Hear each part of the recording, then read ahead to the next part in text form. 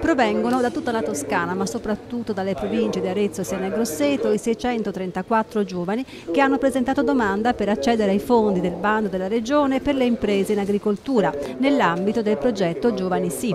Il presidente Enrico Rossi e l'assessore Gianni Salvadori li hanno incontrati a Firenze per fare il punto sui 112 milioni di euro di investimenti che sono in ballo, di cui 50 finanziati dalla Regione. Metà riguardano l'ammodernamento delle aziende. È cosa importante e decisiva perché in questo modo garantiremo futuro all'agricoltura e garantire futuro all'agricoltura vuol dire paesaggio, vuol dire ambiente, vuol dire energia, oltre che chiaramente una grande opportunità per la Toscana che è quella del food, dell'alimentare eh, per candidarsi in maniera autorevole ad essere la food valley dell'Europa. Un terzo dei giovani che ha fatto domanda per investire in campagna ha meno di 25 anni, il 66% sono uomini e il resto donne. Perché hai deciso di partecipare a questo bando?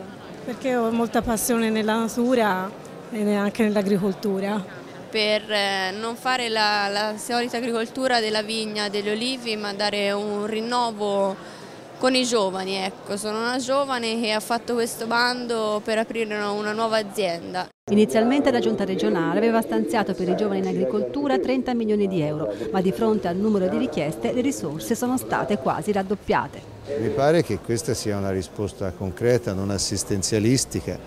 600 imprese non saranno soltanto 600 giovani che lavoreranno, saranno moltiplicati anche per quelli che lavoreranno nell'azienda nell e per quello che sarà l'indotto e per quello che attrarranno anche in termini di innovazione.